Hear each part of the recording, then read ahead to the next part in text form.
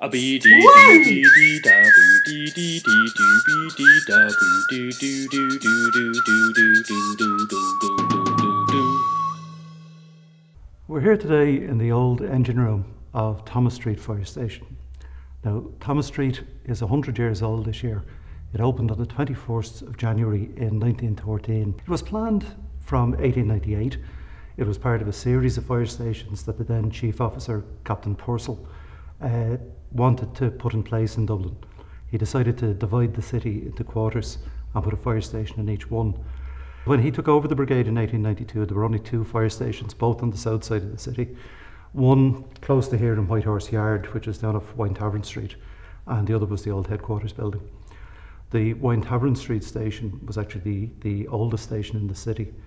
Uh, it went back before the fire brigade. It went back to the days of the Waterworks Brigade with the when the corporation uh, had put an engine in there in the 1850s. And men from the Waterworks department used it. Uh, one of the disadvantages was that it was on a very steep hill, and in the event of a fire, the fireman had to walk beside the horse because the horse couldn't pull both fire fire engine and and uh, and its crew up the hill. It actually had the shortest operational life of any of the city's fire stations. Uh, Purcell's other stations would have stayed in use into the 70s, 80s, and even in the case of Tara Street into the 90s. Uh, this station, when it was opened, it was a revolutionary station in that it was the first Dublin fire station built with no provision for horses. This was to be a motorised uh, fire station. The brigade bought its second motor fire engine to come in here, a Leyland RI uh, 2080 was stationed in here. It was part of the move, Purcell's move to motorise and modernise the Dublin Fire Brigade. When it did open, of course, 1913 was, was a seminal year in Dublin history. It's the year of the lockout. So from this station, you had people responding to things like the Church Street housing collapse across the river. They would also have been up through the city at the various things that were happening in connection with the, the uh, Bloody Sunday riots. There was a lot of fires both within the area and outside the area. Dublin Fire Brigade at the time, Dublin Corporation was the city within the canals and it up went from here down to Kilmainham. So anything beyond that wasn't our area. It was the county, the council area, and the Dublin Fire Brigade weren't required to, to go to them unless by arrangement and unless the whoever called them agreed to pay the charges. But you find some very odd fires that year. You find them going to farm fires in places that we don't think of as farming land, like Crumlin and Walkinstown. Uh, a lot of these fires were incendiary fires where crops, oats, and hay were burned by uh, farm labourers who were locked out as part of the, the uh, 1913 dispute. Uh, scab labour was being used on a lot of the farms. An attempt to organise farm labourers was being opposed by farmers. So the chief officer, in his own private report, his private notes for the annual report that year, uh, described a lot of these fires as due to uh, as he put it, Larkinism.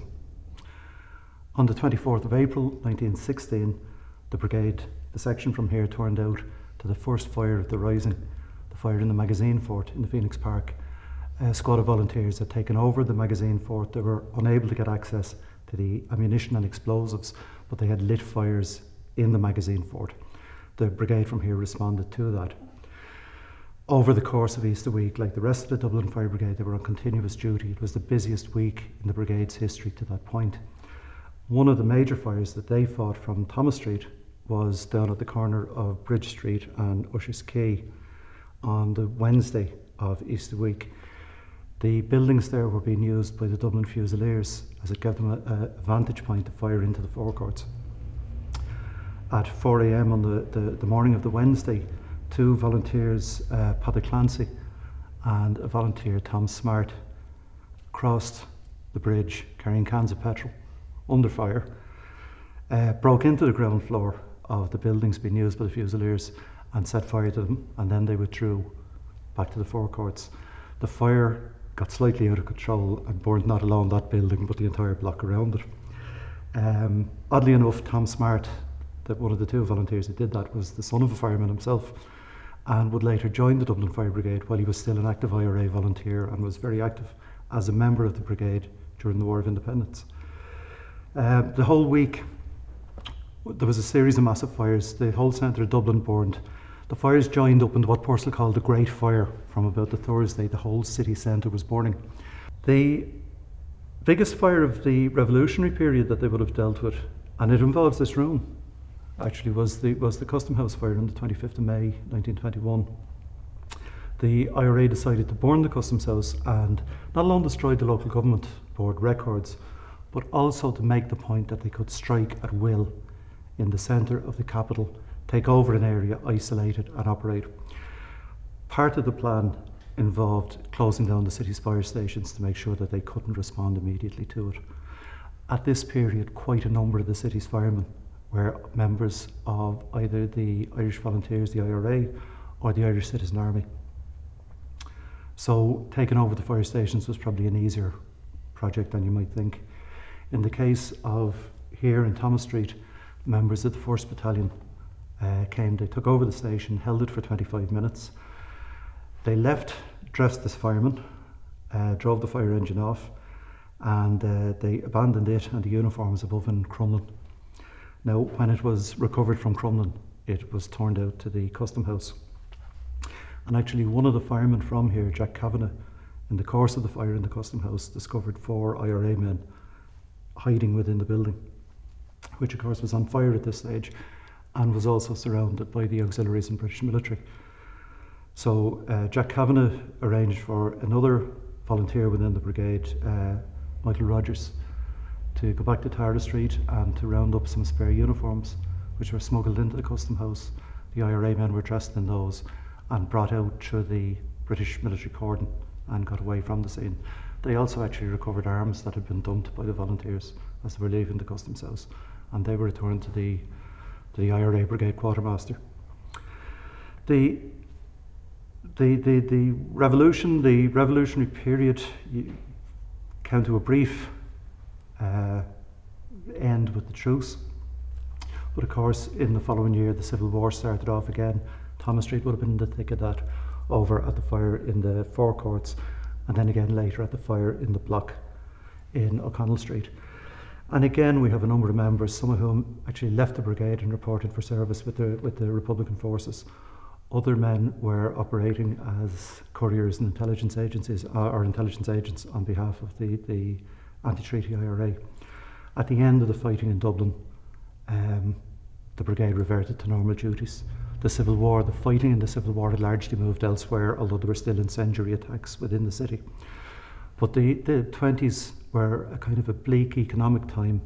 The city itself was now being run by commissioners. The Free State had fallen out with Dublin Corporation and had uh, prorogued the corporation and appointed commissioners to run the city. Uh, I think in Ernest Blythe's words, the corporation at the time were made up of a bunch of what he called reds and irregulars, and he had no intention of dealing with them. There was major austerity measures, major cutbacks, and major lack of funding. Uh, the brigade, of course, suffered quite heavily from that. And in one of the last fires, one of the last serious fires attended by the crews from Thomas Street, uh, the brigade paid the price of those cutbacks on uh, the 5th of October 1936, there was a major fire in Pearse Street. Uh, the Thomas Street section was turned out to it. While they were travelling towards it, the tenement houses which were on fire had a factory in the basement, a battery factory, where gas cylinders were stored. The fire reached the gas cylinders, the building blew up, and three firemen lost their lives there. Uh, Bob Malone, Tom Nugent, and Peter McArdle. When Thomas Street's crew arrived, their basic task was to recover the, the, the, the bodies of their comrades.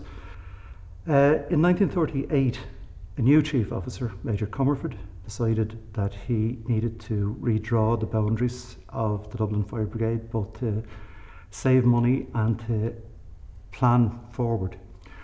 And because the corporation were planning major tenement clearances in the city and were going to build new suburbs in places like Crumlin, Ballyfermot, and Cabra on the outskirts, that this station in Thomas Street would no longer be needed.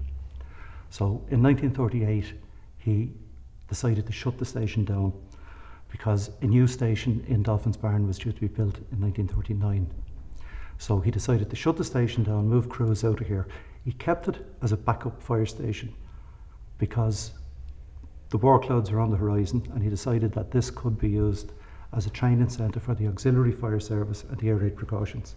There were actually auxiliary firemen and women, for the first time, women were taken in and trained in the Dublin Fire Brigade. Some of the men attached here would have gone to Belfast in on the night of the 14th to 15th of April 1941 when the Luftwaffe blitzed Belfast and the Northern Government were forced to ask for help from the south. Uh, Dublin Fire Brigade sent six engines, three of which were regular fire service and three of them made up of AFS to Belfast. They went again on the 5th of May after a, a further raid. That was really the last hurrah for this place. It closed in 1945, the doors shut as a fire station. It led other lives, and at the moment it's gone on to feature again as the, the headquarters of the National College of Art and Design. So it's found a new lease of life. Um, the station, the more than Thomas Street, had a long gestation from 1898 when it was planned to 1909 when it should have been built. The station that was going to replace it in 1939 wasn't actually built until 1964, so again, it was a bit of a